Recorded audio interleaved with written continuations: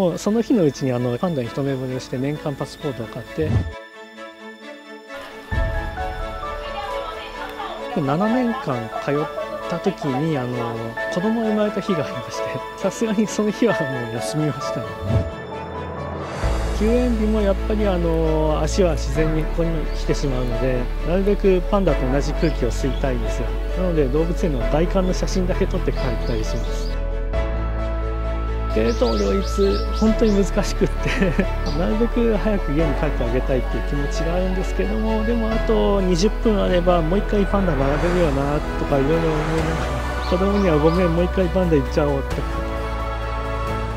宣言しちゃったので